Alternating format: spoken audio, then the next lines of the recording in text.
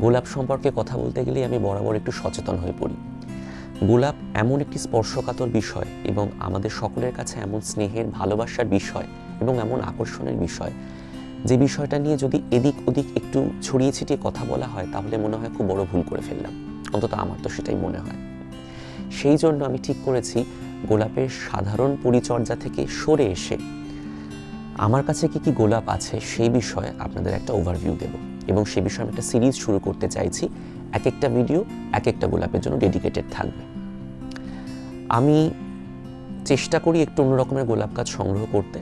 যখন থেকে গোলাপের প্রতি আমার আকর্ষণ তৈরি হতে শুরু হয়, যখন পড়াশোনা করতে শুরু করি, তখন হাইব্রিড টি রোজ থেকে মনটা অনেকটা দূরে চলে আসে। যদিও আমিও পরিচর্যা শুরু করেছি গোলাপ নিয়ে হাইব্রিড টিদের সঙ্গেই কিন্তু যত স্টাডি করতে থাকি ততই আমার অন্য রকমের গোলাপ গাছের প্রতি আকর্ষণ বাড়তে থাকে। র্যামলার্স ক্লাইম্বার্স নয়সেটস এবং আরও অন্যান্য অনেক প্রজাতি আছে। আমি সেই সব নিয়ে পরে কথা বলব। এটা নিয়ে একটা নয় আরও অনেক ভিডিও করা যায়। আপনারা অবশ্যই যদি আগ্রহী হন, আমাকে জানাতে পারেন কমেন্টের মাধ্যমে। আমি সেগুলো নিয়েও ভিডিও করব অবশ্যই, যদি আপনারা আকর্ষণ বোধ করেন তবে কিন্তু আমার ব্যক্তিগতভাবে মনে হয় গোলাপকে জানতে গেলে এবং গোলাপের প্রতি যদি আপনি যথাযথ সুবিচার করতে চান, তাহলে শুধুমাত্র হাইব্রিড টিরোজ বড় করলে চলবে না। আরও অন্যান্য অনেক রকমের গোলাপ আছে। হ্যাঁ একটু সংগ্রহ করতে আপনাকে কষ্ট করতে হবে। কিন্তু যদি আপনি সংগ্রহ করতে পারেন, যদি আপনি আপনার বাগানে নিয়ে আসতে পারেন, তাহলে গোলাপের প্রতি আপনার একটা অন্য জগতের সন্ধান আপনি পেয়ে যাবেন। অন্য জগতের সামনে গিয়ে আপনি দাঁড়াবেন। অন্তত এই বিষয় আমি আপনাকে আশ্বস্ত করতে পারি। কারণ আমি বেশ কিছু বছর ধরে সংগ্রহ করে আসছি এবং আমার অভিজ্ঞতা যথেষ্ট ভালো। আজ কথা বলব নয়সেড রোজ মার্শাল নেল নিয়ে। নমস্কার, আমি সায়ন্তন আর ইন লাভ উইথ সয়েলে আপনাদের সবাইকে স্বাগত। চলুন শুরু করা যাক। এই গোলাপটি আমি সংগ্রহ করি প্রায় দু বছর আগে পুষ্পাঞ্জলি প্রাণবীর নার্সারি থেকে। আমি অনলাইনে নার্সারিটার খোঁজ পাই, তারপর সেখানে গিয়ে বিভিন্ন ধরনের গোলাপের সন্ধান করতে করতে এই গোলাপের সঙ্গে আমার পরিচয় হয় এবং নামটা নিয়ে আমি গুগল সার্চ করি এবং তখন জানতে পারি it's a true antique rose antique rose কি সে বিষয়ে এই ভিডিওতে বলা যাবে না, কারণ তার জন্য একটা আলাদা ভিডিওর দরকার। আপনারা যদি আগ্রহ বোধ করেন, অবশ্যই আমার কাছে কমেন্টের মাধ্যমে জানাতে পারেন, তাহলে আমি সে বিষয়ে ভিডিও করব। কারণ antique rose old garden rose damask rose এই প্রত্যেকটা প্রজাতির গোলাপের জন্য আলাদা আলাদা ভিডিওর প্রয়োজন, আলোচনার জন্য, কারণ এদের একটা ইতিহাস আছে।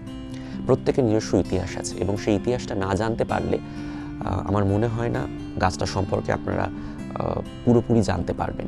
এবং কি অসাধারণ সেই সব ইতিহাস, সেটা যদি আপনাদের সামনে না তুলে ধরি, আপনারা বুঝতে পারবেন। আপনারা অবশ্যই নেট সার্চ করতে পারেন।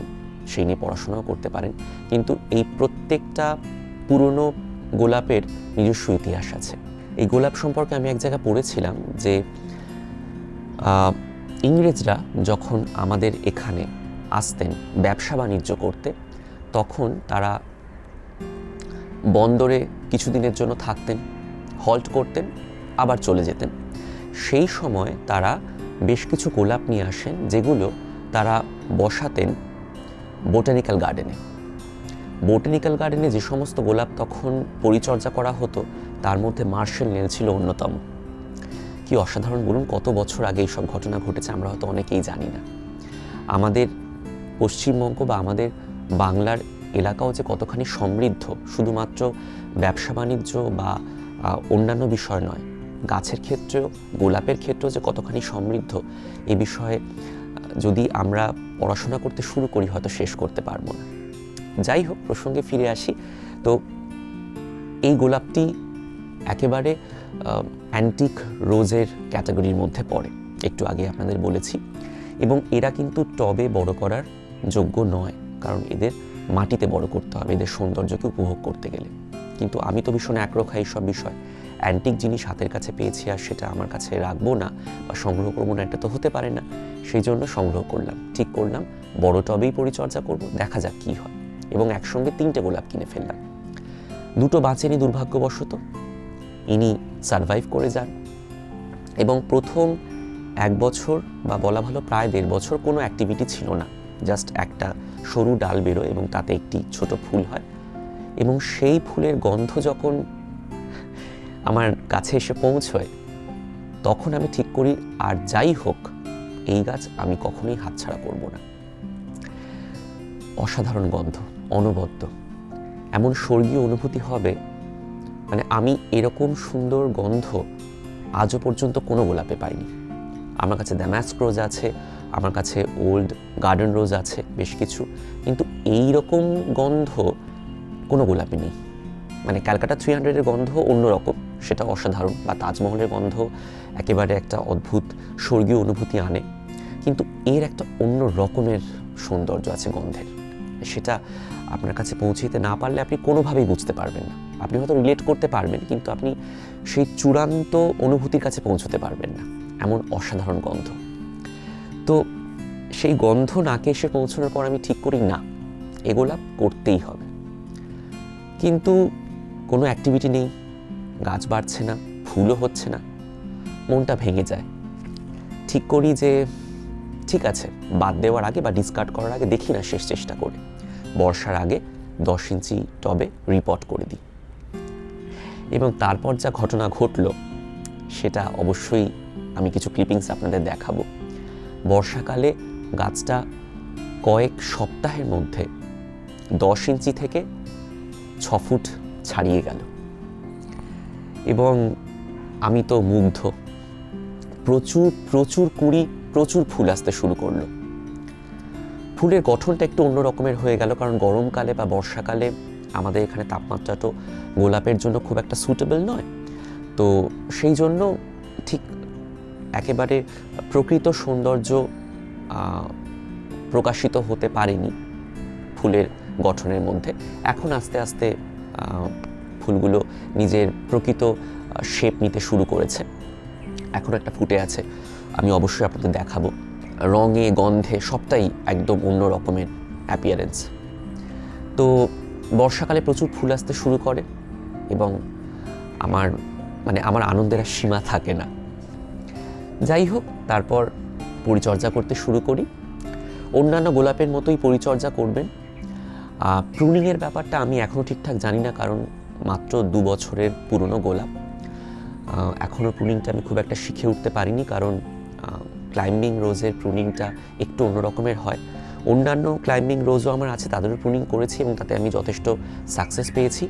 সেভাবে ঠিক করেছি প্রুনিং করব, কিন্তু আমি এবছরও খুব একটা হার্ড প্রুনিং করিনি। আমি চাইছি গাছটা নিজের মতো বড় হোক। এবং আমি অবশ্যই আপনাদের এনকারেজ করব এই গোলাপটা নিয়ে আসতে। এবং আপনাদের বলে রাখি, এই গোলাপ কিন্তু একটু উষ্ণ প্রধান জায়গাতেই ভালো হয়। এদের গ্রোয়িং জোন মোটামুটি জোন নাইন থেকে জোন ইলেভেন এবার এই গ্রোয়িং জোনটা কি, সে বিষয়ে কিন্তু একটা আলাদা ভিডিও করতে হবে। বাগান চর্চার ক্ষেত্রে কিন্তু এই গ্রোয়িং জোন এক্সট্রিমলি ইম্পর্ট্যান্ট আমাদের ভারতবর্ষের একটা গ্রোয়িং জোন আছে, বিভিন্ন জায়গায় বিভিন্ন গ্রোয়িং জোন সে বিষয়ে আমি অবশ্যই কথা বলব অন্য ভিডিওতে এই বিষয়ে কিন্তু ভালো মতো বাগান চর্চা করতে গেলে আপনাকে জানতে হবে। পরে কথা বলব এই নিয়ে। তো গ্রোয়িং জোন মোটামুটি নাইন টু ইলেভেন অর্থাৎ এরা একটু গরম প্রত্যাশা করে, কিন্তু আমাদের মতো ট্রপিক্যাল ক্লাইমেটের গরম প্রত্যাশা করে না। এটা একটু মনে রাখবেন। যাই হোক যদি আপনারা এমন জায়গায় থাকেন যেখানে ওয়েদার খুব সুদিং যেমন ব্যাঙ্গালোর, হায়দ্রাবাদ, সিকিম, দার্জিলিং এই সব জায়গায় দার্জিলিংয়ের সেই সমস্ত জায়গা যেখানে বরফ পড়ে না, কারণ এরা কিন্তু ফ্রস্ট হ্যান্ডেল করতে পারে না। বরফ পড়লে বা যদি নেগেটিভ টেম্পারেচার নামতে শুরু করে, তাহলে কিন্তু এই গাছ আপনি বাঁচাতে পারবেন না। কাজেই শিলিগুড়ি, জলপাইগুড়ি এইসব জায়গায় আপনারা অবশ্যই এই গাছ করতে পারেন, খুব ভালো হবে। এবং চেষ্টা করবেন আপনারা যারা একটু উষ্ণ প্রধান জায়গায় আছেন, গরমকালে গাছটিকে ছায় রাখতে, কারণ এরা শেড টলারেন্ট এরা কিন্তু সারাদিন রোদ প্রত্যাশা করে না। মানে অবশ্যই রোদ পেলে ভালো বাড়বে, কিন্তু যদি আপনি চান তাহলে আপনি ছায়াতে ওই গাছ বড় করতে পারেন। মানে যেখানে ইনডাইরেক্ট ব্রাইট লাইট আসছে, সেরকম জায়গায় গাছ বড় করতে পারেন। এইটুকুই পরিচর্যার ক্ষেত্রে আমি বলব, কারণ বিশেষ কোনো আলাদা পরিচর্যা নেই। আপনি যখন এই গাছ বড় করবেন, তখন এই বিষয়গুলোর দিকে একটু খেয়াল রাখবেন। আর যে বিষয় উল্লেখ না করলেই আলোচনা অসম্পূর্ণ থেকে যাবে, সেটি হলো এই গাছের রোগ প্রতিরোধক ক্ষমতা। গত দু বছরে আমি এখনও পর্যন্ত একবারের জন্য ব্ল্যাক স্পট রাস্ট ডাইব্যাক এসব কিছুই হতে দেখিনি। কাজেই আমার মনে হয় এই গাছ যথেষ্ট রোগ প্রতিরোধ করতে পারে। একটা বিষয় আমাকে মাঝে মাঝে বদর করে সেটা হচ্ছে এই গাছের পাতা গরমকালে বিশেষ করে টিপ এরকম বাদামি হয়ে যায়। আমি জানি না এটা ঠিক কোন ফাঙ্গাল ইনফেকশনের জন্য হয়ে থাকে। যদি আপনারা জানেন তাহলে অবশ্যই আমাকে জানাতে পারেন কমেন্টের মাধ্যমে। তো এইটা আমাকে মাঝে মাঝে বদার করে পুরো গরমকাল জুড়ে। তবে যখন গাছ বাড়তে শুরু করে বর্ষার শুরু থেকে, তখন কিন্তু এই ফাঙ্গাল ইনফেকশনও গাছ খুব একটা বদার্ড হয় না। কাজেই যথেষ্ট রোগ প্রতিরোধক ক্ষমতা এই গাছের আছে, এটা একটা খুব ভালো বিষয়। এবং আমি এখন দেখেছি যে সম্প্রতি যে সমস্ত গোলাপ আসছে, তাদের কিন্তু রোগ প্রতিরোধক ক্ষমতা খুব একটা বেশি নয়। অধিকাংশ গাছই খুব সহজেই ব্ল্যাক স্পটের দ্বারা আক্রান্ত হয় বা অন্যান্য ফাঙ্গাল ইনফেকশন দ্বারা আক্রান্ত হয় এবং সেই ইনফেকশন খুব দ্রুত বাগানে ছড়িয়ে যায়। সেই জন্য আমাকে অনেক গাছ ডিসকার্ড করতে হয়েছে বাগান থেকে। রীতিমতো তাড়িয়ে দিতে হয়েছে। কারণ সেই গাছ যদি আমার বাগানে রাখি, তাহলে আমার মনে হয় না আমি আমার অন্যান্য গোলাপকে বাঁচাতে পারব। কারণ বলা যায় না কি হতে পারে। ডিজিজ রেজিস্ট্যান্ট হওয়ার মানে কিন্তু এটা নয় যে ফাঙ্গাল ইনফেকশন একেবারেই হবে না। তাদের প্রতিরোধক ক্ষমতাটা বেশি। কিন্তু এমন গ্যারান্টি কিন্তু আপনি দিতে পারবেন না যে ব্ল্যাক স্পট হবেই না কখনো। কাজেই সেই জায়গা থেকে সরে আসার জন্য আমি যখনই দেখি কোনো গোলাপ গাছে খুব ঘন ঘন ফাঙ্গাল ইনফেকশন হচ্ছে ব্ল্যাক স্পট হচ্ছে, আমি সেটা আমার বাগানে রাখি না। এটা আমার ব্যক্তিগত প্রিন্সিপালের জায়গা, আপনারা আমার সঙ্গে একমত নাও হতে পারেন, কারণ আমার পক্ষে প্রত্যেক সপ্তাহে ফাঙ্গিসাইড পেস্টিসাইড ব্যবহার করার মতো সময়ও নেই, আমার সেই ইচ্ছাই নেই। আমি চাই গাছ নিজের মতো করে বাড়ুক। তো সেই দিক থেকে দেখতে গেলে বা সেই প্রেক্ষাপটে ভাবতে গেলে এই গোলাপ আমাকে যথেষ্ট স্যাটিসফাই করেছে এবং আমি যথেষ্ট খুশি এই গাছ পেয়ে। কারণ এদের রোগ প্রতিরোধক ক্ষমতা কিন্তু অন্যান্য অনেক গোলাপের থেকে অনেক বেশি। আমি শুধু এখানে আপনাদের কয়েকটা তথ্য দিতে চেয়েছিলাম এই গাছ সম্পর্কে যাতে আপনারাও এনকারেজড হন এই গাছ নিয়ে আসার ক্ষেত্রে।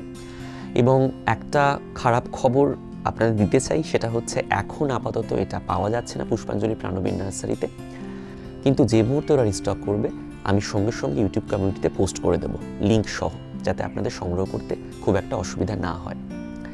আর আপনারাও অবশ্যই চোখে চোখে রাখুন, দেখুন, এটা পুষ্পাঞ্জলি প্রাণবীর নার্সারির যে ক্লাইম্বিং সেকশনটা আছে, ওখানে গেলে পেয়ে যাবেন। ক্লাইম্বার বলে একটা সেকশন আছে, দেখবেন, ওখানে গেলে আপনারা পেয়ে যাবেন। এখন যদি অ্যাভেলেবেল নয়, আপনারা দেখতেও পাবেন না, কারণ ওখানে এই গাছটা নেই আর হয়তো ওরা আবার রিস্টক করলে আবার আপনি দেখতে পাবেন। মোটামুটি নভেম্বরের শেষের দিকে খোঁজ করবেন এবং আমি আপনাদের অবশ্যই রিমাইন্ডার দিয়ে দেবো। কমিউনিটি পোস্টে আমি অবশ্যই আপলোড করে দেবো। লিঙ্ক সহ। তো অবশ্যই সংগ্রহ করুন। কারণ একটু অন্য রকমের গাছপালা করার মধ্যে দিয়ে আমার মনে হয় একটা অন্য রকমের অভিজ্ঞতার মুখোমুখি আমরা সবাই হই এবং আমি সবসময় চাই আপনারা প্রত্যেকে একটু অন্য রকমের অভিজ্ঞতার সম্মুখীন হন। কারণ তাতে আমাদের বাগান চর্চার ইচ্ছাটা আরও বেশি বেড়ে যায়। এবং এই ধরনের অ্যান্টিক রোজ সংগ্রহ করাটাও কিন্তু আমার মনে হয় একজন প্রকৃত বাগানির একটা বড় কর্তব্যের বিষয়। কেন বললাম? তার কারণ এই গোলাপেরা কিন্তু আস্তে আস্তে হারিয়ে যাচ্ছে। আমরা এত বেশি হাইব্রিডটির প্রতি ঝুঁকে পড়ছি, এত বেশি আমাদের কাছে ফ্লোরিপান্ডা মিনিয়েচার হাইব্রিডটি রোজের প্রতি আমাদের এত বেশি আকর্ষণ বেড়ে গেছে আজকাল যে আমরা এই সমস্ত গোলাপকে আর মনেই রাখি না বা হয়তো জানিই না। আমিও জানতাম না দু বছর আগে। কিন্তু এই সমস্ত গোলাপ যে এক্সিস্ট করে, আমাদের দেশে যে এক্সিস্ট করে, সেটা আমাদের সকলের কাছে গর্বের বিষয় এবং এদের ইতিহাস এত সমৃদ্ধ। ভাবুন তো আঠেরোশো সাতান্ন সাল, আমরা এখন দু হাজার বাইশে আছি। অত বছর আগে এই গোলাপ ব্রিড করা হয়েছিল? এবং সে গোলাপ এখন আমাদের দেশে পাওয়া যায়। এবং এত সুন্দর একটি গাছ, এত সুন্দর, এত নরম রং, এত সুন্দর গন্ধ, এত সুন্দর গঠন কেন সংগ্রহ করব না? এটা তো আমাদের উচিত সংগ্রহ করার। বিষয়টা আমাদের ভাবা উচিত। তো সেই জন্যই আজ এই ভিডিও এবং সেই জন্য এই সিরিজটা আমি শুরু করতে চাইছি। আমার কাছে এরকম বেশ কিছু অন্য রকমের গোলাপ আছে। আমার মনে হয় সেগুলো নিয়ে আলোচনা করলে এবং সেগুলো নিয়ে আপনাদের কাছে তথ্য পৌঁছে দিতে পারলে আপনাদেরও ভালো লাগবে। কাজে আর বেশি কথা বাড়াবো না। আজকে এখানেই শেষ করব। যদি কোনো জিজ্ঞাসা থাকে তাহলে কিন্তু অবশ্যই প্রশ্ন করতে ভুলবেন না। সবাই ভালো থাকবেন, সুস্থ থাকবেন এবং অবশ্যই আমাদের সঙ্গে থাকবেন।